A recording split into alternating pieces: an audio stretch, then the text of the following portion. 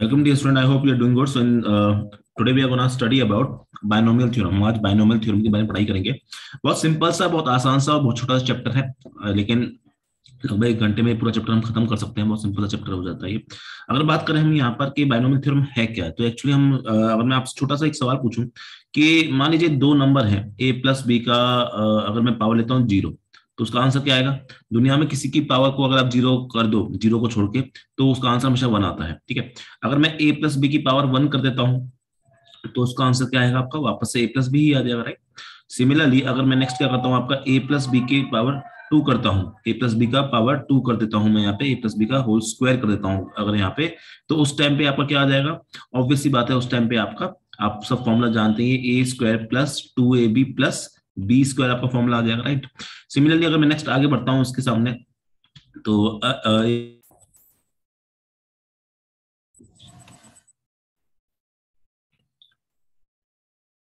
मैं आपको बता रहा था कि a प्लस बी का अगर मैं क्या करता हूँ आपका स्क्वायर करता हूँ तो it comes out to be A square plus two A B plus B square right similarly अगर मैं यहाँ पे a प्लस बी का होल क्यूब करता हूँ तो वो क्या निकल के आएगा? It comes out to be A cube plus three A square B plus three A B square plus B cube निकल के आता है।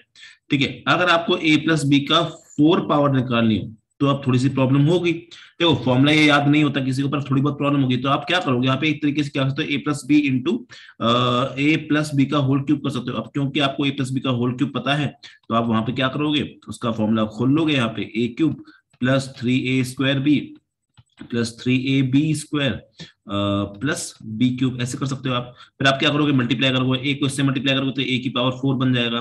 फिर ये थ्री ए क्यूब बी बन जाएगा। फिर ये three A square B square बन जाएगा। ठीक है? फिर आखिरी में आपका यहाँ पे ए बी क्यूब बन जाएगा। फिर आगे वैसे बी मल्टीप्लाई होगा तो ए क्यूब बी हो जाएगा। फिर three A square B square बन जाएगा। फिर यहाँ पे थ्री ए बी क्यू बन जाएगा लास्ट में बी की पावर फोर बन जाएगा। फिर आप क्या करेंगे? इस वाले पार्ट को और इस वाले पार्ट को आपस में ऐड कर देंगे तो वो आपका सिंपल सा बन जाएगा। ए की power four plus three A cube B plus six A square B square plus A B cube plus A cube B plus three A B cube और आखिरी में बी क्यूब फोर अब ठीक है, ये तो आपने कर दिया अगर मान लो, अगर मैं देख लो कितना हार्ड होता जा रहा है अगर मैं ए प्लस बी की पावर फोर आपसे पूछ लूँ अगर मैं सॉरी फोर तो मैंने अभी अभी निकाला है। अगर ए प्लस बी की पावर मैं अगर आपसे फाइव पूछ लूँ तो आप कैसे बताओगे? तो क्या आप यही पहले ए प्लस बी का होल स्क्वायर कि भाई ए प्लस बी का होल स्क्वायर लिख सकते हो उसको? और बाद में क्या कर सकते हो आप इसको? इंटू ए प्लस बी का होल क्यूब कर सकते हो। फिर दोनों के फॉर्मूले लिख के करोगे तो देख रहे कितना ज़्यादा बड़ा जा सकता है आपका, बहुत बड़ा हो सकता है। तो ये हमारे लिए ना थोड़ा सा एक तरह से अच्छा नहीं है कि हम इस तरह से चीज़ों को सॉल्व करें। एक तरह से हमारे लिए अच्छा नहीं होगा कि हम चीज़ों को इस तरह से सॉल्व करें। तो हम क्या करते हैं, इस इस चीज़ से बचने के लिए हम क्या करते हैं, हम यूज़ करते हैं फिर बायनोमियल थ्योरम का। बायनोमियल थ्योरम जो होती है, वो एक सीरीज़ होती है जिसको पास्कल ट्राइंगल बोलते हैं, उससे निकल के आती है। पास्कल ट्राइंगल नहीं आपको पढ़ना है, आपको सिलेबस में नहीं है, ठीक है? उससे निकल के आती है, लेकिन हमें पढ़ना है आपका बायनोमियल थ्योरम पढ़नी है। बायनोमियल एक बहुत बड़े साइंटिस्ट थे। जिन्होंने बहुत मैथमेटिक्स में बहुत बड़े साइंटिस्ट बोल लो बहुत बड़े मैथमेटिशियन बोल लो बहुत बड़े फिजिसिस्ट भी थे इन्होंने फिजिक्स की में और मैथ में फिजिक्स और मैथ के पहले जो साइंटिस्ट थे वो लगभग सेम ही माने जाते थे क्योंकि वो सेम ही फ़ील्ड में काम कर रहे होते थे क्योंकि फिजिक्स में बहुत सारे मैथ की रिक्वायरमेंट थी। तो बहुत सारे जो फिजिक्स के फिजिसिस्ट थे उनको मैथमेटिशियन भी कह, कह दिया जाता है कभी कभी या मैथमेटिशियन फिजिसिस्ट भी कह दिया जाता है क्योंकि फिजिक्स में काम करने वाले जो बहुत सारे साइंटिस्ट थे पहले वो आपके इनडायरेक्टली वहाँ भी काम कर रहे थे मतलब मैथ में भी काम करते थे क्योंकि उनको ज़रूरत थी मैथ की। तो बायनोमियल भी ऐसे एक साइंटिस्ट थे उनमें से एक। अब उन्होंने क्या किया? उन्होंने ये बोला कि देखिए हम करते क्या है? उन्होंने यूज़ किया था।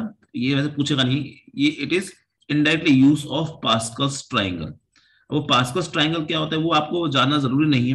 वो क्या बोलता है पास्कस ट्राइंगल का मैं आपको बता भी दूँ, एक आइडिया दे दूँ आपको पास्कस ट्राइंगल का तो वो कुछ नहीं होता। वो एक ट्राइंगल बनता है कि आपने बोला कि यहाँ पे मैंने फ़र्स्ट इंडेक्स इंडेक्स ले लिया मतलब वो नंबर की बात हो रही है, पहला नंबर दूसरा नंबर आखिरी नंबर इस तरह से। और यहाँ पर मैंने उनके कोफिशियंट ले लिए। समझना मैं क्या बोल रहा हूँ? अगर समझ जाओगे तो बहुत अच्छी बात है, वरना कोई दिक्कत नहीं है। ज़ीरो ले लिया तो ज़ीरो पे आपको यहाँ पे वन लेना है कोफिशियंट उसका। ठीक है वन ले लिया तो उस पर आपको इस तरह से कोफिशियंट वन वन आ जाएगा। फिर अगर थर्ड इंडेक्स है तो वहाँ पे तीन टर्म्स आएँगी, पहले वाले का कोफिशियंट होगा वन दूसरे वाले कोफिशियंट होगा टू फिर ऐसे ऐड करते हुए जाएँगे। फिर आपका थर्ड इंडेक्स आएगा तो वन उसे वन और टू को ऐड किया तो थ्री टू और वन को ऐड किया तो थ्री और वन का फिर वापस से सॉरी थ्री और इस तरह से आपका आ जाएगा। फिर ऐसे ही आप आगे बढ़ते चलेंगे। तो उन्होंने क्या कहा?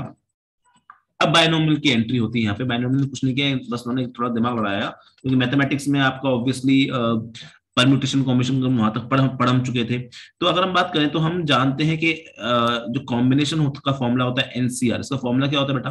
उसका फॉर्मूला होता है N factorial upon R factorial into N minus R factorial ये फॉर्मूला होता है, जहाँ पे जनरली हम ज़ीरो से लेके आर को हम एन से छोटा मानते हैं, इस तरह से मानते हैं, ठीक है? और एन आपका क्या होता है? एन आपका एक it is your non negative number. Integer भी बोल सकते हैं इसको। ठीक है बस ये होता है कि एन जो है नॉन नेगेटिव इंटीजर होना चाहिए आपका, ठीक है? इस तरह से होता है। तो अगर मैं थोड़ा दिमाग लगाऊँगा, अगर मैं थोड़ा दिमाग लगाऊँगा, अगर मैं लिखता हूँ ज़ीरो सी ज़ीरो तो इसकी वैल्यू क्या आती है? वन आती है। ठीक है, हमें पता है कि हम ज़ीरो फैक्टोरियल की वैल्यू क्या मानते हैं? वन मानते हैं और वन फैक्टोरियल क्या होता है? फिर वन होता है, फिर टू फैक्टोरियल क्या होता है आपका? ये टू इंटू वन यानी टू होता है, फिर थ्री फैक्टोरियल क्या होता है आपका? ये three into two into one होता है। इसको हमने परम्यूटेशन कॉम्बिनेशन में अच्छे से कवर करके रखा है। आप वहाँ पर जाके उन वीडियोस को भी देख सकते हो। चलिए तो नेक्स्ट बात करते हैं यहाँ पे। तो ऐसे मैंने क्या ले लिया? ऐसे वन सी ज़ीरो ले लिया। तो ये क्या हो जाएगा आपका? ये भी वन हो जाएगा। ठीक है, फिर मैं अगर आपको दिखाऊँ तो मैंने टू सी वन ले लिया तो ये क्या हो जाएगा? टू हो जाएगा। मैंने आपका थ्री सी ज़ीरो ले लिया तो ये क्या हो जाएगा? आपका थ्री हो जाएगा। सॉरी ये क्या हो जाएगा? आपका वन हो जाएगा। थ्री सी वन ले लिया तो ये क्या हो जाएगा? थ्री तो जैसे समझना। इसको मैंने क्या लिखा? ये आपका ज़ीरो इंडेक्स है। तो इसको मैंने लिया ज़ीरो कॉमा सी ज़ीरो ठीक है इसकी वैल्यू वन आती है। ये आपका फ़र्स्ट इंडेक्स है लेकिन पहली जगह ज़ीरो पोजीशन पे आ रहा है तो इसको हमने लिखा वन सी ज़ीरो ठीक है जैसे हम ये ये पहली इंडेक्स पे यानी वन ठीक है सी और आपका पह, यहाँ पे, पहली पोजीशन पे आ रहा है तो वन सी वन इसकी वैल्यू बनाती है, फिर देखना। यहाँ पे, ये यह आपका दूसरी पोजीशन पे या दूसरे इंडेक्स पे तो टू लिख ले लिया टू सी पहली ज़ीरो फिर यहाँ पे टू सी वन फिर यहाँ पे टू सी अब आपको समझ में आना शुरू होगा मैं करके आ रहा हूँ टू सी टू ठीक है? सिमिलरली यहाँ पे क्या होगा? थ्री सी ज़ीरो फिर यहाँ पे थ्री सी वन फिर थ्री सी टू और ये थ्री सी थ्री इन सब की वैल्यू यही है। ऐसे आप ऑटोमेटिक नीचे बढ़ते जाओगे। तो उन्होंने क्या कहा कि जब भी किसी चीज़ का आपको पावर निकालनी है तो उनके कोफिशियंट को रखने का तरीका आपको इस तरह से यूज़ करना है। कैसे? अब हम फॉर्मूले का इस्तेमाल करेंगे, देखिए। तो क्या बोलता है आपका? ये बोलता है, जैसे एग्ज़ाम्पल के लिए अगर मैं बात करूँ आपसे मैंने लिखा ए प्लस बी की पावर सेवन लिखा। मुझे ये निकालना है। ठीक है? तो मैं कैसे निकालूँगा देखना पहले। मैं पहले क्या करूँगा? सेवन सी ज़ीरो सबसे पहले आ गया। सेवन सी ज़ीरो लिखा मैंने इन टू वो ए की पावर क्या लेना है आपको यहाँ पे? ए की पावर लेनी है आपको ए की पावर ले लिया आपने सेवन तो बी की पावर कितनी बचेगी? वो बचेगी आपकी सेवन माइनस जो भी आपने ये पावर ली है यानी सेवन माइनस सेवन यानी ज़ीरो ठीक है? फिर आपने क्या किया? फिर सेवन फिर यहाँ पे आपने किया सेवन सी वन अब ए की पावर आपने क्या ले ली यहाँ पे? ए की पावर आपने ले ली यहाँ पे ए की पावर आपने ले ली, यहाँ पे सिक्स ठीक है? सिक्स ले ली। अब बचा क्या आपका बी टोटल पावर क्या है? सेवन सेवन में से सिक्स गए तो क्या बचा? वन ठीक है? इस तरह से आपको चलता होगा। सेवन सी टू ए की पावर क्या ले लिया अपन ने? सेवन में टू गए तो फाइव ठीक है? और बी की पावर क्या ले ली अपन ने यहाँ पे? बी की पावर ले ली अपन ने सेवन माइनस फाइव जो कि आपके टू ही निकल के आएगी। और ऐसे ही आप करके चलते रहे, आगे आगे आगे आगे। तो आपको सारी की सारी टर्म्स मिल जाएँगी। तो मैं आपको सिंपल वे में, मैं सिंपल वे में अगर आपको सीधे फॉर्मूला बता दूँ कि बाइनोमियल थ्योरम क्या हो जाएगा आपका? Binomial theorem for any positive integer n any positive integer n, अगर मैं बात करूँ binomial theorem for any positive integer n इसका सिंपल सा फॉर्मूला क्या निकल के आएगा बेटा? ये देखेंगे हम अपन यहाँ पे। देखिए तो ये निकल के आता है a प्लस बी की पावर n ठीक है याद कैसे करना है आपको? याद करने का तरीका देखिए। एन सी ज़ीरो ठीक है। इसी को भी पहले लिखो किसी को बाद में लिखो कोई फ़र्क नहीं पड़ता। ठीक है ए की पावर लगा दी अपन ने ए की पावर लगा दी अपन ने आ, सीधे एन लगा दी। तो बी की पावर क्या ले लेंगे हम? ज़ीरो ले लेंगे जो कि वन ही होता है प्लस फिर एन सी वन फिर ए की पावर क्या लगा दी मैंने ए की पावर मैंने N minus one N minus one और यहाँ पे बी क्या हो गया बी की पावर वन बी की पावर एक बढ़ रही है ठीक है ए की पावर सबसे हाईएस्ट ले लिया आपने जो कि एन थी फिर उसको कम करते जा रहे हो एक एक कम करते जा रहे हो फिर हमने क्या किया एन सी टू कितना कम ये वाला कम यानी ए की पावर क्या हो जाएगी एन माइनस टू ए की पावर कम करते जा रहे हैं बी की पावर क्या करते हैं बढ़ाते जा रहे हैं फिर एन सी थ्री ए की पावर को कम करते जाएँगे और बी की पावर को बढ़ाते जाएँगे एन ऐसे ऐसे चलते रहेंगे। फिर मान लीजिए ऐसे चलते रहते यहाँ पे आ गया एन सी ऐसे चलते रहो। यहाँ पे क्या आ गया कोई एन माइनस वन तो ए की पावर क्या हो जाएगी? वहाँ वन हो जाएगी। बी की पावर क्या हो जाएगी? वहाँ पे एन माइनस वन हो जाएगी। ठीक है? नेक्स्ट आपकी बात करें लास्ट टर्म क्या हो जाएगी? एन सी एन यहाँ पे ए की पावर क्या हो जाएगी? ज़ीरो हो जाएगी और बी की पावर क्या हो जाएगी? आपकी एन हो जाएगी। तो बेटा ये सामने जो मैं आपको बना कर दिया है ना, ये है आपकी binomial theorem very very very important important for you this is your binomial theorem ये ये आपको इसी तरह से याद होनी चाहिए। छोटे मोटे टर्म्स में आप याद कर सकते हो, ऐसी कोई दिक्कत नहीं है, पर हाँ इस तरह से याद होना चाहिए। एक तरह से इसको हम शॉर्ट में लिखना चाहें, एक तरह से इसको हम शॉर्ट में लिखना चाहें तो मैं इसको ऐसे भी लिख सकता हूँ कि इट इज़ समेशन ऑफ़ ठीक है आर गोज फ्रॉम ज़ीरो से एन तक where it is summation of N C R और A to the power N minus R B to the power R ठीक है? इसमें आप आर की वैल्यू चेंज करते जाओ, इसमें आप आर की वैल्यू चेंज करते जाओ और आपको ऑटोमेटिकली आपको अलग अलग वैल्यूज़ मिलती जाएँगी, जो भी इस पूरे फॉर्मूले की अलग अलग जो टर्म्स है ना, वो आपको मिलती जाएँगी। तो ये दो तरीके से आप चाहे तो याद कर सकते हैं, वरना आपको धीरे धीरे प्रैक्टिस से तो ऑटोमेटिकली ये याद हो ही जाएगी। ठीक है? आई होप ये छोटी सी बात होगी, आपको जो समझ में आई होगी। इसका जो प्रूफ होता है ना बेटा, इसको जो हम प्रूव करते हैं मैथमेटिकल इंडक्शन से प्रूव करते हैं, जो कि आपके सिलेबस में नहीं है। आप इसको किससे प्रूव करते हो? इसको आप मैथमेटिकल इंडक्शन से प्रूव करते हो, जो कि आपके सिलेबस में नहीं है, ये बात याद रखिएगा, ठीक है? चलिए तो ये समझ में आ गया? ठीक। अब सुनिए, ये जो होते हैं कोफिशियंट्स अगर आप इनको इस फॉर्मूले को देख रहे हैं अच्छे से इस फॉर्मूले को अगर हम अच्छे से देखेंगे तो यहाँ पे जो आपको कोफिशियंट देखने को मिल रहे हैं बेटा ये कोफिशियंट ये कोफिशियंट ये कोफिशियंट ये कोफिशियंट ही तो है। ठीक है एक सब क्या है आपके? कोफिशियंट है। तो इनको बेटा हम क्या बोलते हैं? आपको मतलब मैं इनकी बात करूँ जनरल फॉर्मूले में मैं जाऊँ और मैं इसकी बात करूँ यहाँ पे। इसकी बात तो ये जो एनसीआर होता है ना, जो भी एनसीआर आ रहा है आर के अलग अलग वैल्यूज़ के लिए for R is equal to zero one two three ये कहा तो देखा इन इन सबको हम क्या बोलते हैं आपका? इन सबको बेटा हम बोलते हैं आपके बाइनोमियल कोफिशियंट्स इन सबको हम क्या बोलते हैं आपका? इन सबको हम बोलते हैं आपके बायनोमियल कोफिशियंट्स ठीक है? तो ये आपके बाइनोमियल कोफिशियंट्स कहलाते हैं, ठीक है? अब आगे चलते हैं, चलिए। हम आपको देखना चाहेंगे आपके। अच्छा एक और बात मुझे आपको यहाँ पे समझानी है। ये नोट पॉइंट की तरह आप समझ सकते हैं सारी चीज़ों को। फॉर्मुला तो आपको बताई दिया मैंने, इनको नोट पॉइंट की तरह समझ। तो ये एनसीआर जो होते हैं, इनको हम बायनोमियल कोफिशिएंट बोलते हैं। नेक्स्ट अगर नोट पॉइंट की बात मैं यहाँ पे समझाऊं आपको तो मैं ये पूछता हूँ कि अगर आपसे पूछा जाए कि टोटल नंबर ऑफ़ टर्म्स कितनी है इस फॉर्मूले में टोटल नंबर ऑफ़ टर्म्स कितनी है? तो वैसे आपको उसकी आवश्यकता नहीं है, लेकिन फिर भी आप बड़े आराम से बता सकते हो। टोटल नंबर ऑफ़ टर्म्स बेटा होती है आपकी N plus one total number of terms कितनी होंगी आपकी? Total number of terms terms का मतलब कितनी ऐसी चीज़ें आ रही है, जैसे ये ये एक, दो दो, फिर तीन, फिर चार, ये ऐसे कब तक जाता रहेगा? तो याद रखना ये एन प्लस वन टाइम्स ऐसा आपका आएगा। क्यों? क्योंकि चीज़ जो है ना बेटा, वो ज़ीरो से स्टार्ट हो रही है। तो देखो, यहाँ ज़ीरो फिर वन फिर टू फिर थ्री फिर फोर ऐसे जाते जाते जाते जाते एन तक जा रहा है, ठीक है? तो one two three four five ये तो कितना हो गया टोटल यहाँ से निकले, यहाँ तक? ये हो गया आपका एन और ये ये टर्म भी तो गिनी जाएगी ना? तो ये टर्म कैसी हो गई? पहली टर्म हो गई। तो टोटल टर्म्स कितनी हो गई? वन प्लस एन या एन प्लस वन टर्म हो गई।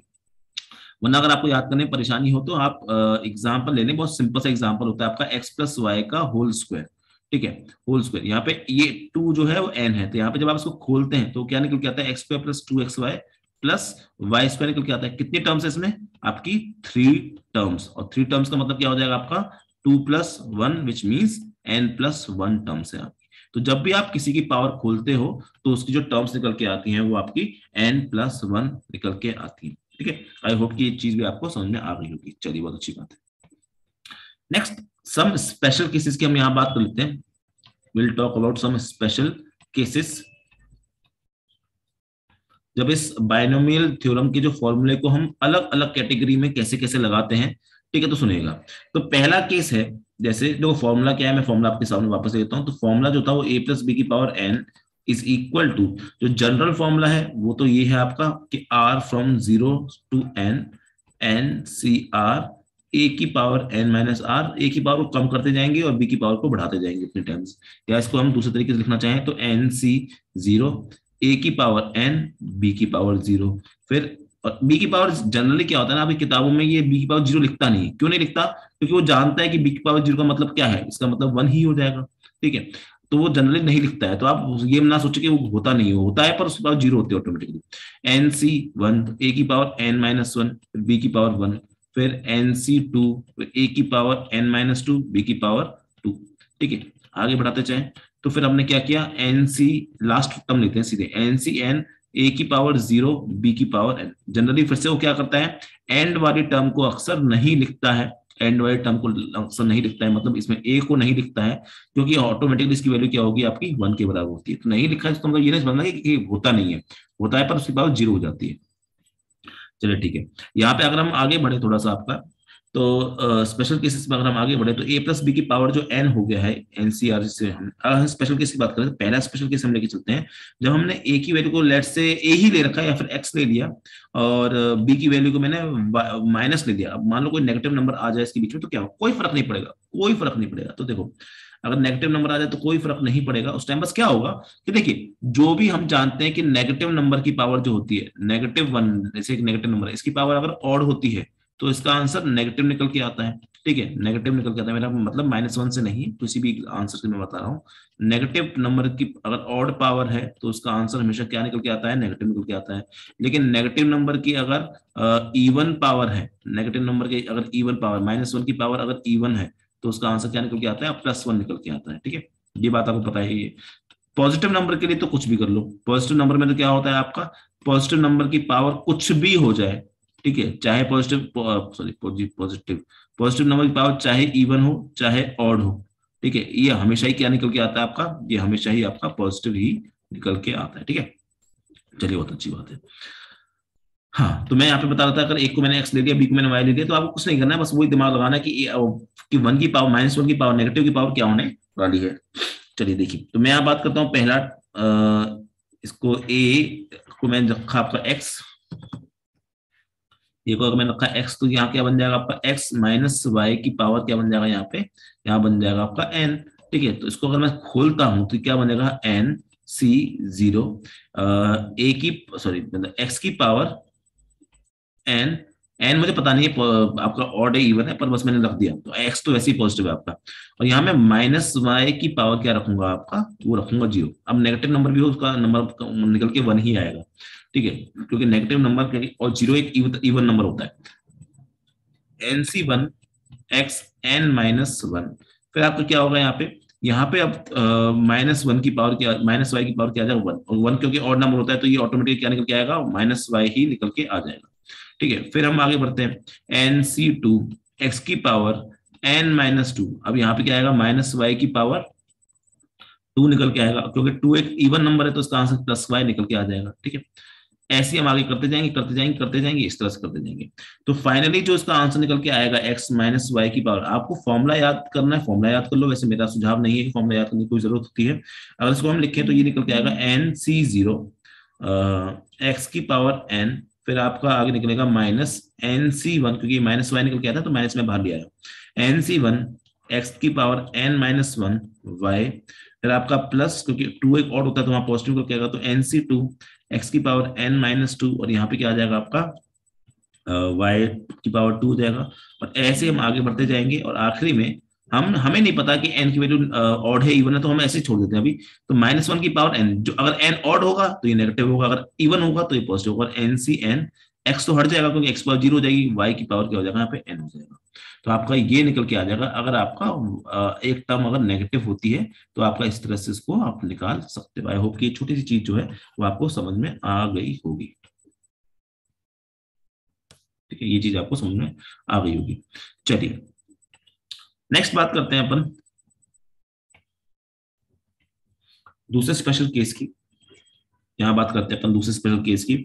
इसमें मैंने क्या किया ये बहुत इंपॉर्टेंट केस है, कई बार एग्ज़ाम में पूछा जाता है एक की वैल्यू मैंने ले ली वन और बी की वैल्यू ले ली मैंने आपकी एक्स ठीक है?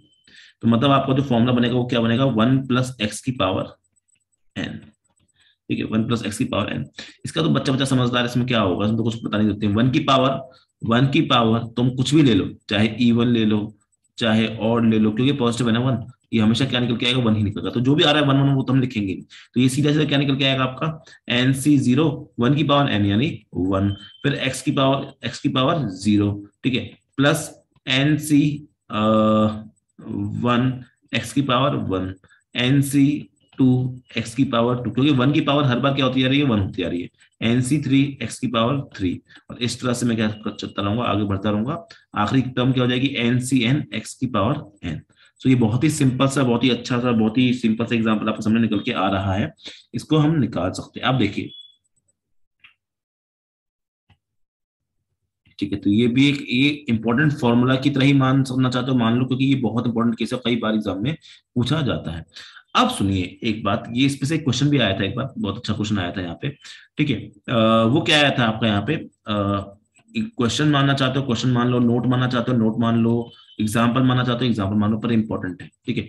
अगर मैं यहाँ पर, बेटा, अगर मैं यहाँ पे एक्स की वैल्यू को वन ले लेता हूँ एक्स की वैल्यू को वन ले लेता हूँ यहाँ पे, ठीक है? वो अलग अलग चीज़ों के लिए अलग आएगा, पर एक्स की वैल्यू वन पे कुछ स्पेशल आता है निकल के। उस टाइम पे बेटा आपका one plus one one plus one की पावर एन बन जाएगा विच विल बी टू की पावर एन राइट आप यहाँ पर हर जगह एक्स की वैल्यू अगर वन भी रख दोगे तो हर वापस सब कुछ वन हो जाएगा। तो ये सिंपल सा क्या निकल के आ जाएगा n C zero plus n C one plus n C two plus n C three ये एग्ज़ाम में एक बार क्वेश्चन पूछा गया था कि ये n C one plus n C two plus n C n इन, इसकी, जो इस आर एच एस में लिखा ना, इसकी इसकी वैल्यू क्या होती है? टोटल अगर वैल्यू निकालते हैं। तो इसकी वैल्यू कुछ और नहीं टू की पावर एन के बराबर निकल के आती है। एग्ज़ाम में एक बार क्वेश्चन पूछा गया है। और अच्छा क्वेश्चन भी कह सकते हैं, इसको हम बन जाता है यहाँ से ये। ठीक है तो ये क्वेश्चन एग्ज़ाम्पल की तरह यहाँ से पूछा गया है। ठीक है तो ये एन सी ज़ीरो बिना किसी एक्स वैक्स के अगर हम जो होते जाए तो ये टू की पावर एन के बराबर निकल जाता है तो वो यहाँ, इस वाले रिज़ल्ट से यहाँ से चीज़ निकल के आती है। चलिए नेक्स्ट केस की अगर हम बात करते हैं यहाँ पे। ठीक नेक्स्ट केस की अगर हम यहाँ बात करते हैं थर्ड केस की तो थर्ड में क्या हो जाएगा आपका?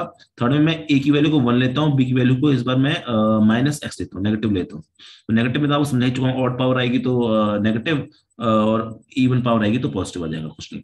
तो यहाँ पे हम लिखेंगे वन माइनस एक्स की पावर एन तो वो तो मैं बता ही चुका हूँ तो मुझे वापस समझाने की ज़रूरत नहीं यहाँ पे हम समझे तो ये क्या हो जाएगा? एन सी ज़ीरो वन की पावर वन वन की पावर एन तो वन ही होगा, यहाँ पे आ जाएगा माइनस एक्स की पावर ज़ीरो तो यहाँ पे माइनस एक्स की पावर ज़ीरो का मतलब क्या हो जाएगा? माइनस एक्स की पावर ज़ीरो। एक बार मैं लिख देता हूँ।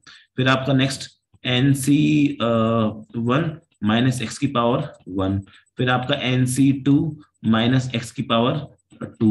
और इसी तरह आप चलते रहेंगे। आखिरी मुझे एन पता नहीं है नेगेटिव है पॉजिटिव तो मैं ये मानता हूँ कि माइनस वन की कुछ पावर आएगी एन ये माइनस वन कहाँ से आया? मैंने एक्स के अंदर से जो माइनस है ना हटा के वो बाहर लिख दिया, बस और कुछ नहीं। डाउट तो प्लीज़ कृपया कमेंट कर देना। आपको क्लियर कर दिया जाएगा। या फिर अलग से कभी पूछ लेना। मेरा नंबर तो आपके पास में है।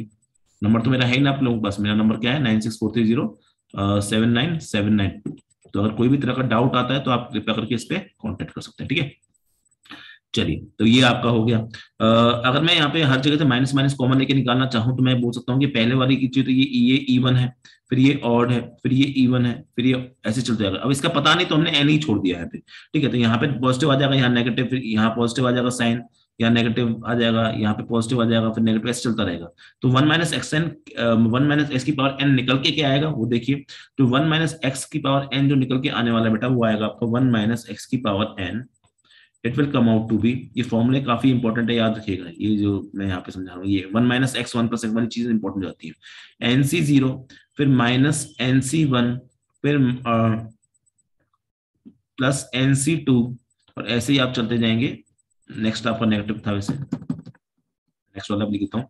एन सी थ्री और फिर ऐसे आप चलते जाएँगे, आखिरी में आ जाएगा आपका माइनस वन की power n n C n ठीक है? तो ये आपका निकल के आ जाएगा यहाँ से इसका फॉर्मूला ठीक है सॉरी मैंने एक्स हटा दिया शायद सॉरी सॉरी सॉरी तो यहाँ पे आ जाएगा आपका, यहाँ पे एक्स की पावर ज़ीरो यहाँ एक्स की पावर वन यहाँ एक्स की पावर टू यहाँ एक्स की पावर थ्री और ऐसे चलते जाएँगे तो एक्स की पावर एन तो इस तरह से ये आपके सामने फॉर्मूला तैयार हो जाता है, ये फॉर्मूला आपको याद रहे तो अच्छी बात है, नहीं याद रहे तो आप निकाल सकते हैं अपने मन से। ऐसा कोई खतरनाक चीज़ तो नहीं बताई मैंने बाइनोमियल थ्योरम का इस्तेमाल करके निकाल सकते हैं। ठीक है, वन माइनस सेक्शन इंपॉर्टेंट हो जाता है। अब इसमें भी हम वही नोट पॉइंट की तरह, नोट पॉइंट समझना है, नोट पॉइंट समझ लो, क्वेश्चन समझना है, क्वेश्चन समझ लो, एग्ज़ाम्पल समझना है, एग्ज़ाम्पल समझ जो समझने का मन करे वो समझिए, उससे कोई दिक्कत नहीं है, जो आपको अच्छा लगे वो समझिए। उसके हिसाब से अगर हम आगे बढ़े यहाँ पे तो मैं नोट पॉइंट में क्या बताना चाह रहा हूँ कि अगर हम एक्स की वैल्यू को इस बार फिर से वन लेने। अगर हम फिर से क्या कर रहे हैं एक्स की वैल्यू को यहाँ पर बेटा वन लेने हैं आपका। देखिए।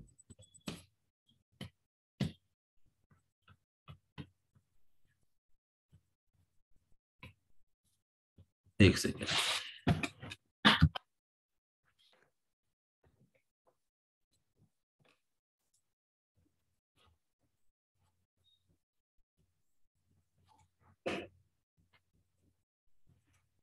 ठीक। तो इस बार फिर से अगर हम आपका फिर से हम आपके x की पावर x की वैल्यू को अगर हम यहाँ पे बेटा अगर आपको वन ले लें if x is one in this example only तो हम यहाँ पर वन माइनस वन की पावर n, यानी ज़ीरो की पावर n तो वो ऑब्वियसली ज़ीरो ही होगा इन्फिनिटी नहीं लेना है।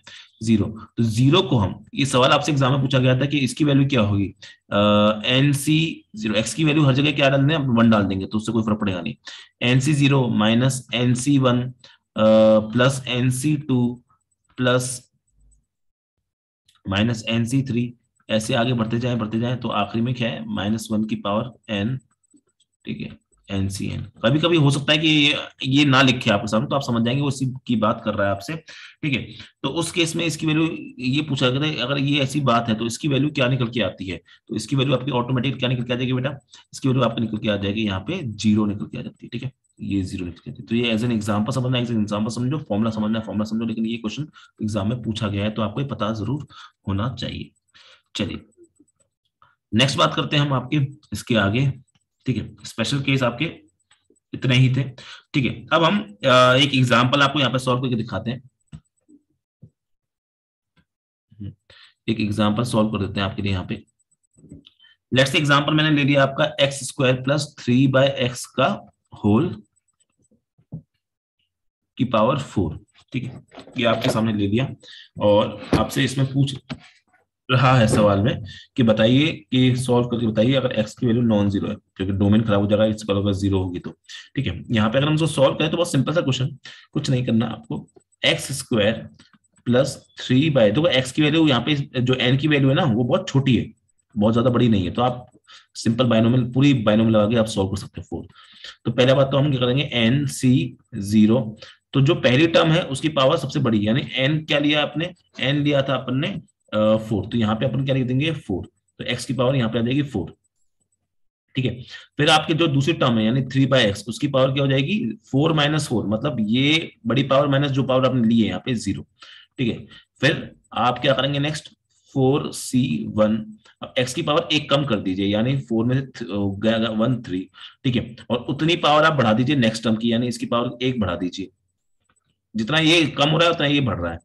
नेक्स्ट तो फोर सी टू एक्स की पावर यहाँ पे हो जाएगी टू और थ्री बाई एक्स की पावर भी क्या हो जाएगी यहाँ पे? टू हो जाएगी।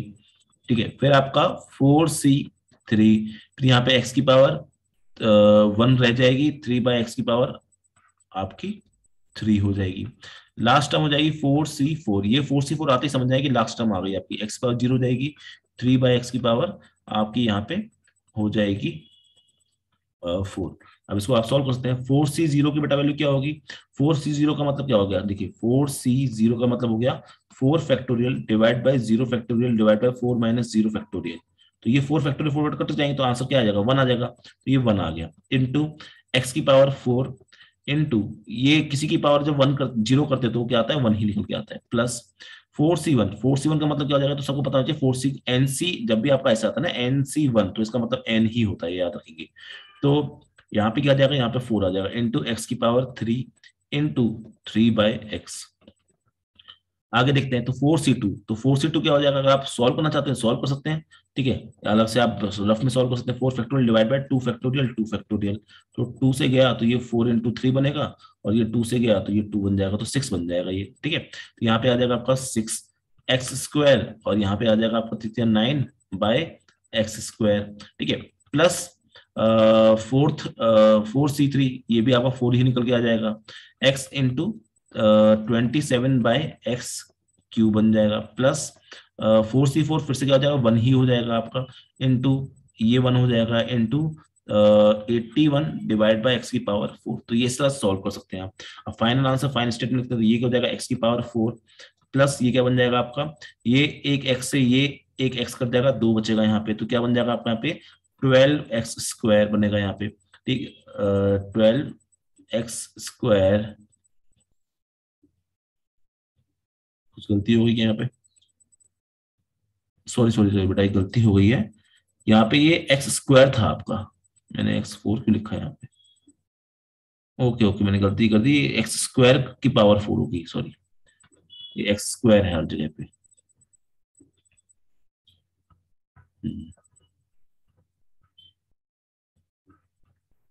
दूसरा टर्म सही है हाँ। तो यहाँ पे एक्स की पावर एट बन जाएगा आ, ये एक्स की पावर एट बन गया ठीक है। यहाँ पे एक्स की पावर आ, बात करें तो एक्स की पावर सिक्स बनता है सिक्स में से फाइव बचता है यहाँ पे तो एक्स की पावर फाइव बचेगा यहाँ पे ठीक है। तो यहाँ पे एक्स की पावर फाइव आएगा निकल के आपका ठीक है। प्लस यहाँ पे आपका एक्स की पावर फोर आता फोर में से ये कटता तो आपका टू बचता। तो यहाँ पे आपका क्या निकलेगा सिक्स नाइन जा फिफ्टी फोर एक्स स्क्वायर निकल के आ जाएगा ठीक है अब सही है। यहाँ से अगर काटेंगे तो ये कटेगा इसका इस, लेकिन इस बार ये क्या होगा ये स्क्वायर रह जाएगा तो ये कटेगा तो ये आपको वन रह जाएगा। तो यहाँ पे फोर ट्वेंटी सेवन ये एक सौ आठ होता है one twenty one hundred eight by x हो जाएगा। प्लस एट्टी वन बाय ये तो कुछ दिक्कत ही नहीं है तो यहाँ एट्टी वन बाय एक्स की पावर फोर ही बचेगा। ठीक है तो ये आपका क्या निकल के आ जाएगा बेटा? ये आपका निकल के आ जाएगा आंसर। तो बड़ा सिंपल होता है सॉल्व करना, कोई ऐसी बात बहुत बड़ी बात नहीं है सॉल्व करने में। बस ये फॉर्मूला आपको अच्छे से पता होना चाहिए। इसका यूज़ क्या होता है आप देखेंगे। इसके यूज़ की अगर हम बात करें तो इसका जो यूज़ निकल के आता है, वो इस तरह से निकल के आता है कि जैसे आपको बोला गया क्वेश्चन में कंप्यूट कंप्यूट 98 की पावर 5 अब आपके पास में या तो एक तरीका है कंप्यूटर की हेल्प से या कैलकुलेटर की हेल्प से, क्या कर सकते हो आप? आप कैलकुलेटर या कंप्यूटर की हेल्प से इसकी वैल्यू सॉल्व कर सकते हो पूरी तरह से। इसकी वैल्यू पूरी तरह सॉल्व कर सकते हो 98 एट इंटू नाइनटी एट करते रहो। बहुत बड़ा हो जाएगा लेकिन। दूसरा तरीका क्या बोलता है कि हम थोड़ा दिमाग अगर लगाएँ तो मैं 98 को क्या लिख सकता हूँ? मैं 98 को 100 माइनस फाइव की सॉरी 100 माइनस टू की पावर फाइव लिख सकता हूँ। अभी भी पावर बहुत बड़ी है, अभी भी आपको मेहनत तो करनी पड़ेगी, पर एज कंपेयर टू जो मेहनत थी आपकी, उससे थोड़ी कम हो जाएगी। तो यूजिंग बाइनोमियल थ्योरम को हम सोचें। तो देखिए, फिर यहाँ पे वही एन की वैल्यू आपको लेनी है फाइव यहाँ पे फाइव सी ज़ीरो यहाँ पे हंड्रेड की पावर क्या हो जाएगी आपकी? हंड्रेड की पावर फाइव ठीक है? और यहाँ माइनस है इस बार ये ध्यान देना ठीक है? तो यहाँ अगर आपको माइनस से प्रॉब्लम नहीं हो चाहिए तो आप कोई नहीं माइनस को ही लिख के सॉल्व करो। तो यहाँ पे माइनस टू की पावर ज़ीरो फिर आप फाइव सी वन हंड्रेड की पावर फोर और यहाँ पे आ जाएगा माइनस टू की पावर uh, क्या है? वन है sorry one plus plus five C two hundred की पावर कम होती जाएगी थ्री और माइनस टू की पावर आपकी बढ़ती जाएगी टू ठीक है? ऐसे ही फाइव सी थ्री क्योंकि पाँच तक हम लिख सकते हैं तो हम, मैं पाँच तक लिख रहा हूँ। फाइव सी टू यहाँ पे टू हो जाएगा पावर और यहाँ पे माइनस टू की पावर थ्री हो जाएगी। नेक्स्ट टर्म क्या आ जाएगी यहाँ पे? नेक्स्ट टर्म मैं अगर लिखूं तो फाइव सी फोर हंड्रेड की पावर फोर और माइनस टू की पावर वन हो जाएगी। सिमिलरली लास्ट क्या हो जाएगी? फाइव सी फाइव हंड्रेड की पावर uh, यहाँ पे आप सॉरी फोर कहाँ से आ गया? यहाँ पे वन होगा। यहाँ पे ज़ीरो और माइनस टू की पावर यहाँ पे फाइव हो जाएगा। तो इस तरह से आप लिख सकते हैं। अब हर टर्म को आप सॉल्व करना चाहते हैं तो बड़ा आराम से सॉल्व कर सकते हैं। बस वही है थोड़ा सा कैलकुलेशन दो। कैलकुलेटर की ज़रूरत तो अभी भी आपको पड़ेगी। बट एटलीस्ट ये है कि एक नया तरीका मिल गया आपको सॉल्व करने का। अब जैसे कभी कभी सवाल पूछा जाता है बेटा कि कौन बड़ा है? कभी कभी सवाल इस तरह से पूछा जाता है कि आपका वन पॉइंट ज़ीरो वन की पावर टेन थाउज़ेंड में और आपका टेन थाउज़ेंड में कौन बड़ा है? इस तरह से सवाल पूछा जाता है। तो उसको करने का तरीका यही होगा देखो कैसे। मैं सवाल क्या बोलना चाह रहा हूँ कि इस तरह के सवाल आपसे कई बार पूछे जाते हैं।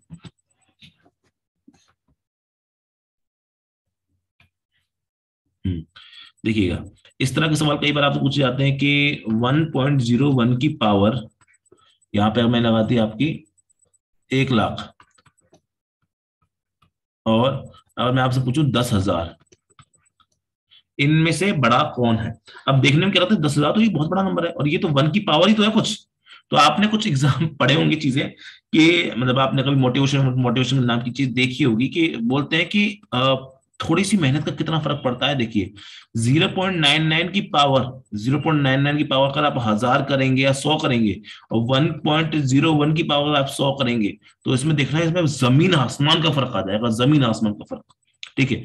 तो वही बोलते हैं कि आपको सिर्फ़ एक नंबर वन को पार करना है, एक नंबर को क्रॉस करना है क्रॉस करते आपकी ज़िंदगी चेंज हो जाएगी तो वो वाला मोटिव होता है। तो पूछता है कि इनमें से कौन सा बड़ा होगा विच वन इज़ ग्रेटर तो देखने में भले ही लगता है यार, ये तो वन की पावर ही तो है। वन की पावर तो कुछ भी करते जाओ वन ही आएगी आसपास। तो बच्चों मन में ये बैठता है मन के आसपास निकल के आएगी। पर देखिए, इसको अगर हम देखें तो मैं इसको one plus zero point one zero point zero one की पावर टेन मतलब एक लाख लिख सकता हूँ राइट अगर मैं इसको आगे सॉल्व करूँ, अगर मैं इसको आगे सॉल्व करूँ हम्म। ठीक। इसको अगर मैं अगर सॉल्व करूँ तो देखिए यहाँ पे क्या आएगा आपका?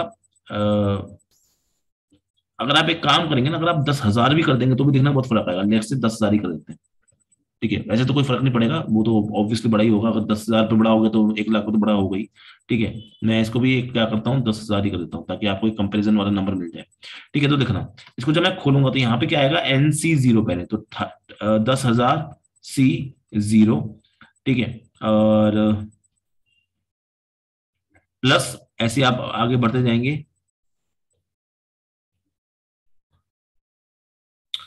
ठीक है। नहीं, एक लाख ही ले लेते हैं। ठीक है, ये। तो आप ऐसे बढ़ते जाएँगे। एक ज़ीरो और बढ़ा देते हैं लोग। और क्या कर लोगे, तुम भी याद रखोगे। एक ज़ीरो और बढ़ाते तो यहाँ पे एक ज़ीरो और बढ़ा दिया ठीक है, तुम्हारी तुम्हारी, और देखो, साथ में क्या जाए ज़ीरो पॉइंट ज़ीरो वन की पावर, वो तो ज़ीरो होगा, उसमें तो सोचना ही नहीं है।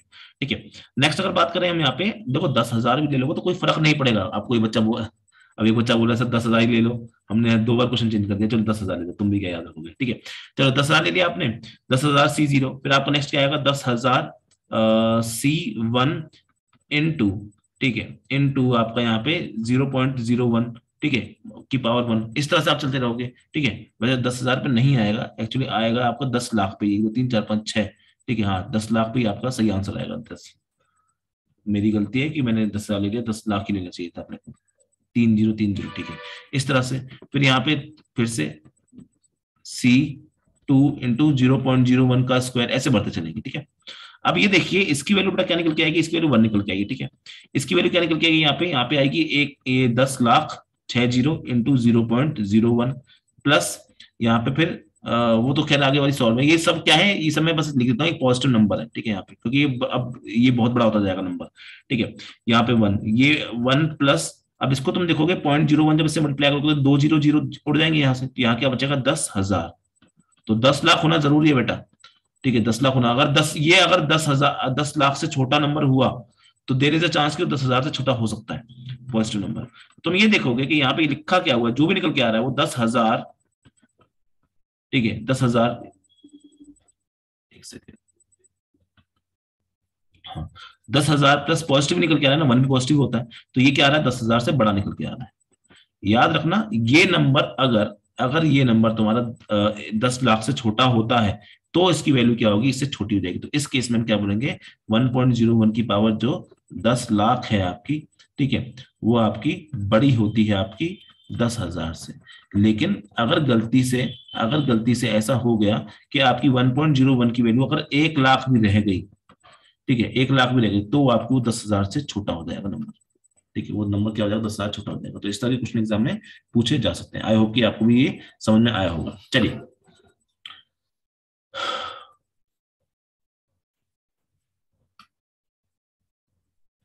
चलिए। तो यहाँ पर नेक्स्ट जो टॉपिक बनता है, जो नेक्स्ट कैटेगरी बनती है, वो बनती है आपकी general and middle term general term में आपको पहले बता ही चुका हूँ। एक सवाल बनते हैं, बहुत ज़्यादा सवाल बनते हैं कि मिडिल टर्म निकालिए, ठीक है? मिडिल टर्म निकालिए कि बीच में, बीच वाली टर्म कौन सी होगी? और जनरल टर्म तो खैर मैं बता ही दिया हूँ आपको। और कभी कभी ये भी पूछता है आपसे कि इस पूरे बायनोमियल एक्सपेंशन में कौन सी वो टर्म है? इस पूरे बायनोमियल एक्सपेंशन में कौन सी वो टर्म है जो कि आपकी एक्स से परे है, यानी एक्स उसमें नहीं आता है तो उस क्वेश्चन को भी हम देखेंगे। देखिए, अगर बात करें यहाँ पर्टिकुलरली इस चीज़ की तो जनरल टर्म तो मैं आपको बता ही चुका हूँ कि जनरल टर्म क्या होती है बेटा?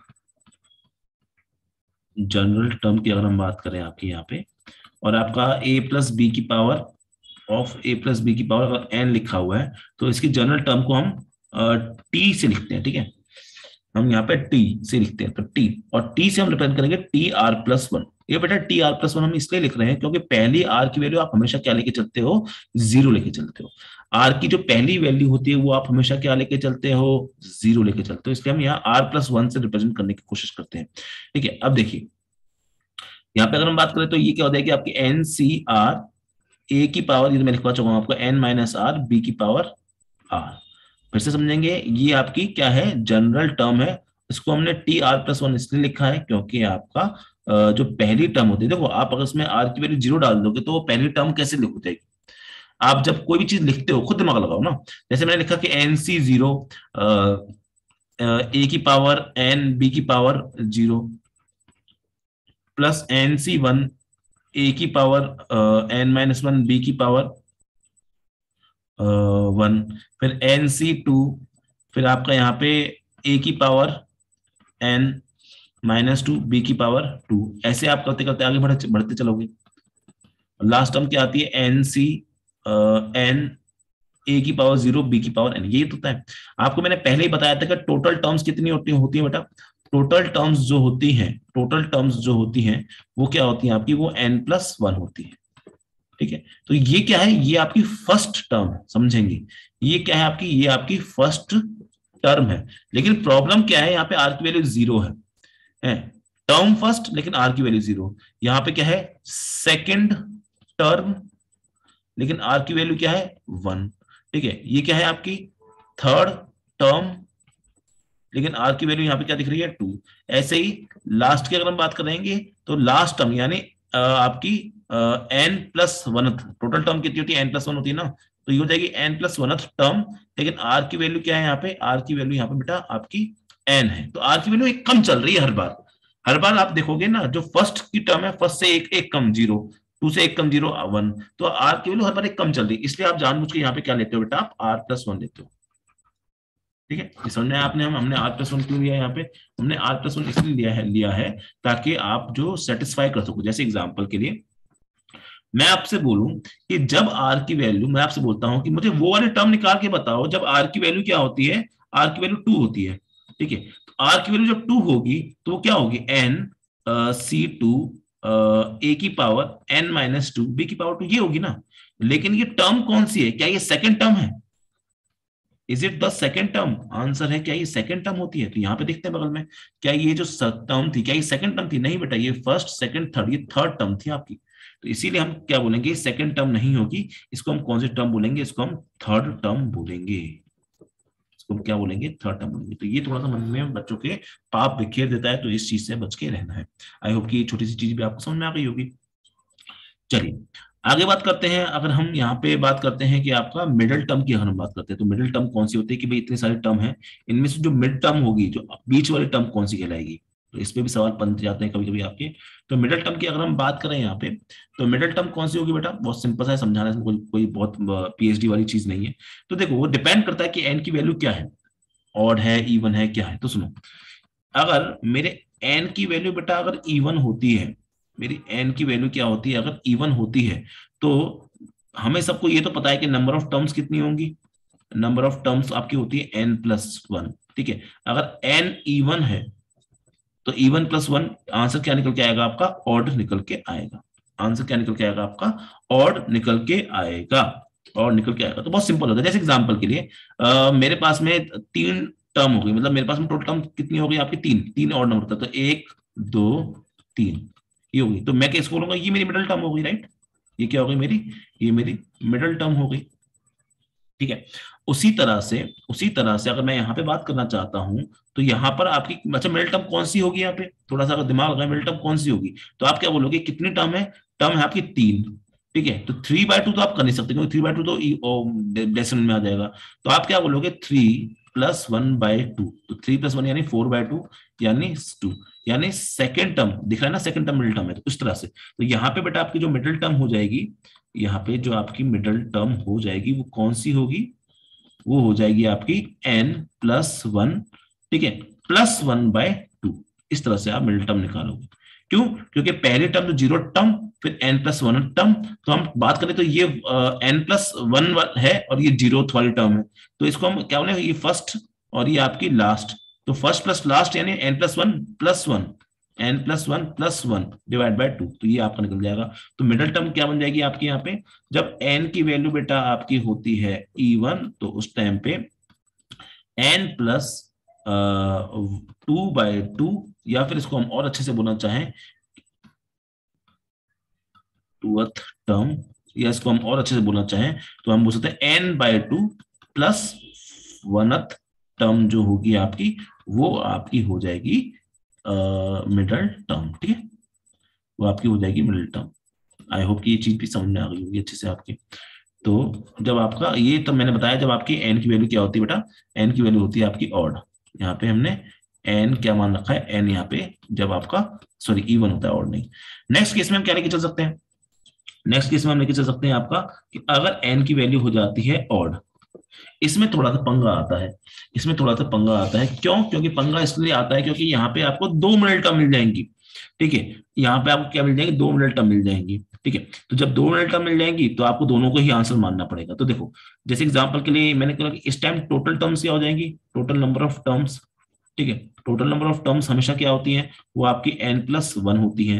क्योंकि एन ऑड है ऑड में अगर हम एक जोड़ेंगे तो आंसर क्या निकल के आ जाएगा? इवन अब जैसे एग्ज़ाम्पल के लिए हमारे पास में इवन नंबर ऑफ़ टर्म्स है। एक, दो, तीन, चार, ठीक है? पाँच, छह। अब इसमें से आप मिडिल टर्म कौन सा तो लगे दो छोड़ दो, यहाँ से दो छोड़ दो तो ये दोनों बीच में ही आ रही है। तो इन दोनों को हम क्या मान लेंगे आपका? इन दोनों को हम मिडिल टर्म्स मान लेंगे ठीक है? इन दोनों को हम क्या मान लेंगे आपकी? मिडिल टर्म्स मान लेंगे, ठीक है? अब सुनिए, जब इन दोनों के बेटा हम अपनी मिडिल टर्म्स मान लेंगे तो हम क्या करेंगे फिर आगे? देखिए ठीक है? यहाँ पे हम क्या करेंगे आपका? तो हम यहाँ पे बोलेंगे कि आप दोनों मिडिल टर्म मान लो। तो कैसे निकालेंगे? बहुत सिंपल हो जाएगा कि एन बाय टू के एक कम और एन बाय टू के एक ज़्यादा। बस खत्म। तो इसमें हम क्या बोलेंगे आपका? जो मिडिल टर्म्स होंगी, दो मिडिल टर्म्स आएँगी आपकी। एक आएगी N plus one by two term जो होगी and N plus one by two की जस्ट जो नेक्स्ट टर्म होगी। ठीक है? ये दोनों ही टर्म को हम क्या मान लेंगे? ठीक है? Are your are both middle terms जब आपके एन की वैल्यू क्या होती है? जब एन की वैल्यू बेटा मेरी ऑड होगी तो हम ऐसा मान लेंगे, ठीक है? इंपॉर्टेंट है, पूछ लेते हैं कल कभी एग्ज़ाम में पता भी होना चाहिए। चलिए। लेकिन ये पूरी जो व्याख्या मैंने आपको दी है, ये कब मान के दी है? जब आपके एन की वैल्यू क्या हो जाएगी? एन की वैल्यू आपकी जब ऑड हो जाएगी, ठीक है? चलिए। लास्ट तरह का सवाल जो बेटा यहाँ से बनता है आपका लास्ट तरह का सवाल जो यहाँ से बनता है, वो बनता है एग्ज़ाम्पल की तरह मैं आपको समझाऊँगा नोट की तरह समझाऊँगा, वो बनता है आपका टर्म इंडिपेंडेंट ऑफ़ एक्स इस तरह के सवाल बनते हैं यहाँ तक नहीं सवाल है। ये एग्ज़ाम्पल की तरह ही समझो इसको। ये कोई मतलब कोई कंसेप्ट तो मैं आपको समझाई दूँगा यहाँ पे। इंडिपेंडेंट ऑफ़ एक्स और इसको हम कभी कभी कॉन्स्टेंट टर्म भी बोलते हैं। इंडिपेंडेंट ऑफ़ एक्स का मतलब हो जाता है कि उसमें आपका कोई भी एक्स का नाम नहीं आना चाहिए एग्ज़ाम्पल समझते हैं आपका। जैसे मैंने लिख दिया आपका X plus one by X की पावर मैंने यहाँ पे लगा दी आपकी लेट से टू एन लगा दी। अब बोलता है कि फाइंड द टर्म नंबर बताना है टर्म का याद रखना, हमें टर्म कौन सी टर्म है वो बतानी टर्म भी बता सकते हैं कि कौन सी टर्म है हमें टर्म की वैल्यू क्या है वो बता सकते हैं। Find the term which is independent of X independent of X मतलब उसमें एक्स का नाम नहीं आना चाहिए। अब देखिए ऐसा हो क्यों रहा है। ऐसा हो इसीलिए रहा है क्योंकि जब आप इसके पावर को खोलोगे तो क्या निकल के आएगा यहाँ पे? एन सी ज़ीरो एक्स की पावर टू एन ठीक है? Plus N C one X की power two N one upon X की power two N minus sorry यहाँ माइनस वन हो जाएगा.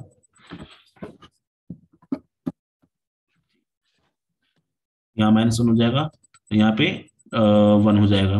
फिर यहाँ पे एन सी टू एक्स की power two N minus two यहाँ पे क्या हो जाएगा? वन अपॉन एक्स की पावर टू हो जाएगा. तो इस तरह का एक सवाल हमने पहले भी किया था. ऐसे बढ़ते चलेगी टर्म अब अगर तुम ध्यान लगाओ इसमें तो हो क्या रहा है कि एक्स लगातार इसको काट रहा है? इसको काट के क्या बना देगा? टू एन माइनस टू बना देगा। इसको काट के क्या बना देगा ये? ये टू है ना? तो यहाँ से काट के टू एन माइनस फोर बना देगा। ऐसे आपका ये टू एन माइनस सिक्स बना देगा। ऐसे करके चलता रहेगा आगे, पावर जो है। तो क्योंकि पावर को आप देख रहे हो कम होती जा रही है तो एक टाइम ऐसा हो सकता है कि एक्स की कोई रैंडम पावर होगी। एक्स की कोई रैंडम पावर होगी जहाँ पर आपका जहाँ पर क्या होगा बेटा? जहाँ पर आपका जो एन की वैल्यू है, जो एक्स की पावर की वैल्यू है, वो क्या हो जाएगी? ज़ीरो हो जाएगी। जैसे मैंने बोला कि टू एन अब आप देखें तो यहाँ पे यहाँ पे क्या आ रहा है? टू एन आ रहा है, फिर टू एन माइनस टू आ रहा है, फिर टू एन माइनस फोर आ रहा है, ठीक है? तो यहाँ पे अगर हम बात करें टू एन माइनस टू हो गया सॉरी यहाँ पे टू एन टू एन यहाँ पे मैंने छोटी सी गलती कर दी है टू एन टू एन हो गई। ठीक है? फिर टू एन माइनस टू हो गया। तो ऐसे करके कोई ऐसी टर्म आ सकती है, ठीक है? कोई ऐसी टर्म आ सकती है जहाँ पर आपका टू एन माइनस यहाँ पे टू आर हो जाएगा इज़ इक्वल टू ज़ीरो आ जाएगा। इस जगह पे क्या होगा? इस जगह पे आपकी जो टर्म होगी दिस यहाँ पे इसको सॉल्व करने के बाद, यहाँ पे अगर मैं निकालू तो आर की वो वैल्यू क्या हो जाएगी? एन वैल्यू हो जाएगी। मतलब बेटा, जब आर की वैल्यू एन होगी जब आर की वैल्यू एन होगी तो उस टाइम पे, जब आर की वैल्यू एन होगी तो उस टाइम पे आपका क्या हो जाएगा? वो उस टाइम पे जो टर्म मिलेगी कांस्टेंट टर्म मिलेगी आपको। उस टाइम पे जो टर्म मिलेगी कांस्टेंट जैसे एग्जांपल में क्या होना चाह रहा है यहाँ पे, कि जब आप क्या लिखो टू एन सी एन लिखोगे यहाँ पे, और यहाँ पे, वो टर्म कौन सी हो जाएगी? और यहाँ पे एक्स की पावर क्या लिखोगे? Two N minus two N minus N लिखोगे, और यहाँ पे वन अपॉन एक्स की पावर क्या आ जाएगी? वन अपॉन एक्स की पावर आ जाएगी आपकी, यहाँ पे वो भी आ जाएगी एन। तो जब इसको लिखोगे यहाँ पे तो टू एन सी एन और यहाँ पे एक्स की power N into one upon X की पावर एन। तो ये कट जाएँगे ना तो आपका क्या बच के आ रहा है? Simple, two N C N तो ये कौन सी टर्म है आपकी? ये टर्म है जो कि आपकी एक्स पे डिपेंड नहीं कर रहा, इसमें एक्स का नाम नहीं आ रहा। तो ऐसी टर्म को हम बोलते हैं, टर्म इंडिपेंडेंट ऑफ़ एक्स तो ये कहा मिल रहा है आपको एन लेकिन यहाँ पर समझना, समझदारी एक बात की आपको ये दिखानी है वो बहुत इंपॉर्टेंट चीज़ है जो यहाँ समझनी है। देखो आर की वैल्यू जब एन होती है, तब आपको आपको एक्स की इंडिपेंडेंट मिलती है। लेकिन वो टर्म कौन सी होगी? कि जो कौन सी टर्म है जो इंडिपेंडेंट है टर्म इंडिपेंडेंट जो हो जाएगी, वो तो याद रखना, वो हम आर नहीं लेते हैं, वो हम क्या लेते हैं बेटा आपका? आर प्लस वन लेते हैं। यानी जो एन प्लस वनथ टर्म होगी, ठीक है, जो एन प्लस वनथ टर्म होगी वो आपकी इंडिपेंडेंट होगी एक्स की। याद रखना इस बात को ये बात यहाँ पे मैंने समझाई थी ठीक है इस तरह से समझाई थी यहाँ पे। जो आपकी एन प्लस वनथ टर्म होगी वो आपकी इंडिपेंडेंट होगी एज कंपेयर टू जैसे एग्ज़ाम्पल समझता हूँ समझाता हूँ एक बार एक अच्छा इस, इस पे सवाल आया हुआ एग्ज़ाम में तो समझो जैसे मान लीजिए एग्ज़ाम्पल के लिए आपसे बोला गया कि फाइव एक्स प्लस देखो हमेशा होगा भी इंडिपेंडेंट ये ज़रूरी नहीं है हो भी सकता है नहीं भी हो सकता। Plus two by X square का की पावर लेट से मैंने लगा दी यहाँ पे फिफ्टी एट लगा दी। अब आपसे पूछा है find the term independent of X तो इसमें बेटा तीन तरह के सवाल पूछे जा सकते हैं। इसमें तीन तरह के सवाल पूछे सकते हैं। सुनिए वो क्या क्या होते हैं। पहला सवाल ये होता है, वो टर्म कौन सी होगी? तो आपको कुछ नहीं करना। आपको लेना है कि लेट से वो आर जहाँ पे कोई आर की वैल्यू होगी तो मैंने क्या कर दिया? एन सी आर ठीक है? फाइव एक्स जनरल टर्म लिख देना। फाइव एक्स ठीक है? फाइव एक्स की पावर यहाँ पे क्या हो जाएगी आपकी? यहाँ पे, जैसे ये जो जनरल टर्म हो जाएगी general term T R plus one होती है ना, इस तरह से लिखती है जनरल टर्म लिखती पहले तो। पहले जनरल टर्म लिखोगे, यहाँ पे आ जाएगा एन माइनस आर ठीक है? और यहाँ पे आ जाएगा टू बाई एक्स स्क्वायर की पावर आर आ जाएगा। क्योंकि एन की वैल्यू क्या है? फिफ्टी एट है, ठीक है? और ये फिफ्टी एट है। अब आपको क्या करना है? अगर आपको, अगर आप चाहते हो, अगर आप चाहते हो कि आपकी टर्म इंडिपेंडेंट ऑफ़ एक्स होनी चाहिए तो यहाँ पे जो एक्स की पावर है, यानी एन माइनस आर और यहाँ पे जो एक्स की पावर है, यानी टू आर ठीक है? जो आर है, ये आपकी एक दूसरे को काटनी चाहिए। तो नेट एक्स की पावर क्या आ जाएगी यहाँ पे? एक्स की पावर आ जाएगी एक्स की power N minus three R क्या यही आ जाएगी? एन माइनस थ्री आर आपकी पावर आ जाएगी। तो एक काम करते हैं, क्योंकि डेसिमल में ना आए आंसर डेसिमल में आंसर नहीं आना चाहिए। कभी भी डेसिमल में नहीं आ सकता आंसर अगर डेसिमल में आंसर आ रहा है तो कोई भी ऐसी टर्म नहीं होगी जो कि इंडिपेंडेंट ऑफ़ आपकी एक्स से होगी। याद रखना। अगर एन अगर आंसर एन आर का आंसर डेसिमल में आ जाए तो समझना ऐसी कोई टर्म नहीं होगी जिसका जो इंडिपेंडेंट ऑफ़ आपकी होगी। तो देखिए, इसको हम सॉल्व करते हैं आगे। तो ये हो जाना चाहिए। ये अब मैंने बोला कि अगर इंडिपेंडेंट चाहिए तो मुझे इसकी वैल्यू क्या करनी है? ज़ीरो करनी है। तो यहाँ से एन की वैल्यू क्या है? Fifty seven minus three R is equal to zero तो three R is equal to fifty seven तो यहाँ से आर की वैल्यू क्या आ जाएगी आपकी? थ्री वन जा three three nine twenty seven तो बेटा जहाँ पर आर की वैल्यू याद रखना, जहाँ पर आर की वैल्यू नाइनटीन है, वहाँ पर वो टर्म क्या होगी आपकी? वो टर्म होगी आपकी इंडिपेंडेंट ऑफ़ एक्स तो मैं बोल रहा हूँ कि अगर वो पूछे टर्म क्या होगी? तो आप बोलोगे टर्म ये देखो पहला सवाल हो गया आर की वैल्यू क्या होगी उस टाइम पे? ये हो गई। तो टर्म क्या हो जाएगी उस टाइम पे? तो आर की वैल्यू आप डाल देना। तो एक्स डालना ही मत। यहाँ पे डाल देंगे फिफ्टी सेवन सी नाइनटीन और यहाँ पे आ जाएगा फाइव की power fifty seven minus nineteen और यहाँ पे आ जाएगा आपका टू की पावर नाइनटीन तो ये टर्म होगी जिसमें आपका एक्स नहीं आएगा। इसमें एक्स लिखने की ज़रूरत नहीं है। अच्छा वो कौन सी टर्म है? कौन टर्म है? कौन सी टर्म है, वो ऐसे पूछ सकता है आपसे। तो देखो, ये क्या है? ये होता है T R plus one R की वैल्यू क्या है आपकी? नाइनटीन है। तो याद रखेंगे वो आपकी टी नाइनटीन प्लस वन या मैं बोलू टी ट्वेंटी या इसका मतलब हम पूछ सकते हैं, वो ट्वेंटियथ टर्म होगी। जो कि इंडिपेंडेंट ऑफ़ एक्स होगी। तो ये तीन सवाल बनते हैं कि आर की वैल्यू क्या होगी वहाँ पे? और उस टर्म को बताओ टर्म निकाल के बताइए, वो टर्म कौन सी होगी जिसमें आपका एक्स नहीं आने वाला? और तीसरी चीज़ कौन सी टर्म होगी? तो सबसे ज़्यादा बच्चे जो गलती करते हैं ना, बेटा, जो सबसे ज़्यादा बच्चे गलती करते हैं, वो इस पार्ट में गलती करते हैं आपकी, इसमें। बाकी सब निकाल भी लेते हैं, बाकी थोड़ा दिमाग लगा कर लेते हैं, पर इस पार्ट में बहुत बच्चे गलती करते हैं। तो आपको एक टर्म बढ़ा के लिखना है वहाँ पे। क्यों? क्योंकि आर आपका ज़ीरो से स्टार्ट होता है फॉर्मूले में, लेकिन हम जब टर्म गिनते हैं तो हम पहली टर्म को ज़ीरो टर्म को भी हम ज़ीरो वाले उसको भी हम वन का नाम देते हैं। तो इस तरह के सवाल यहाँ से बनते हैं। आपको ये सवाल आपको निकल के आने भी चाहिए, ठीक है? आई होप ये क्वेश्चन जो होंगे बेटा आपके समझ में आए होंगे अच्छे से। ठीक है? आई होप ये जो भी अपन ने क्वेश्चन किए हैं आपको अच्छे समझ आए होंगे। ठीक है? अगर फिर भी आपको किसी क्वेश्चन में डाउट रहता है प्लीज़ ज़रूर कमेंट करें। यहाँ पे ज़रूर मुझसे पूछ लें या फिर आपके पास मेरा पर्सनल नंबर है, उस पर भी आप मेरे से कॉन्टेक्ट कर सकते हैं। आई होप कि सबको यहाँ पे अच्छी समझ में आया होगा। आज की क्लास को यहीं पर समाप्त करते हैं। कृपया करके क्वेश्चन लगाते रहें और किसी भी तरह का डाउट हो तो पूछते रहे। Thank you very much take care every